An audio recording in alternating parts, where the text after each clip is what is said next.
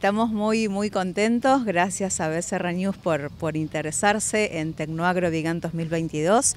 Estamos muy emocionados porque nací aquí en este pueblo, en mi querido, en mi querido Vigán, y conjugamos eh, lo que nos simboliza, ¿no? Si ustedes miran el, logo, ¿no es cierto?, de más allá del evento, ¿no? Que simboliza un conocimiento, el libro abierto y la tecnología, pero más allá en el, en el logo de la comuna de Vigán, los pilares de la industria, el campo como un libro abierto del conocimiento. Y acá creo que se conjuga nuestro ADN, la tecnología, el desarrollo, el conocimiento, porque es un evento educativo, no es un evento comercial, o sea, básicamente educativo. Por eso es que vieron tantos jóvenes, disertantes de lujo, que estamos tan agradecidos que, que hayan venido y bueno, y el rol de la mujer, como en la sociedad misma, eh, bueno, con su aporte y bueno, también lo feliz que estaría Octavia Ricardone, la esposa compañera de nuestro fundador, don Víctor Vigán, eh, porque fue una mujer independiente, con, un, con una gran impronta intelectual para la época.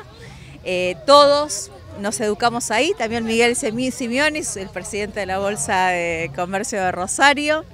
así que estamos muy, muy contentos por la importancia para todo el ecosistema, el nivel de empresas también que ha venido, así que bueno, muy muy contentos. Bien, esto que mencionabas de, la parte educativa y que sea una muestra apuntada a eso, no suele ver este tipo de eventos, sino siempre es más para la vinculación de las empresas con el sector agroindustrial y vimos muchos jóvenes circulando durante todo el día, inclusive en los paneles.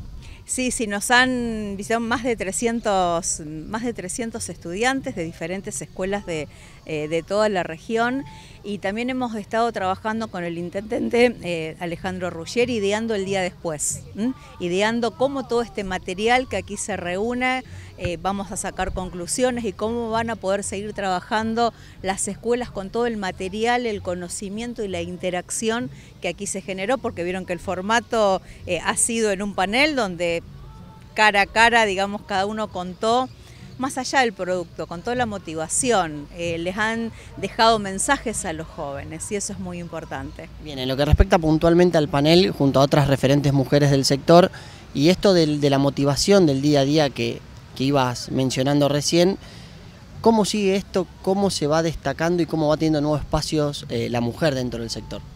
Ya, por suerte la, eh, la mujer creo que ha tenido siempre roles, nada más que por ahí no han sido tan visibles o no se ha visibilizado.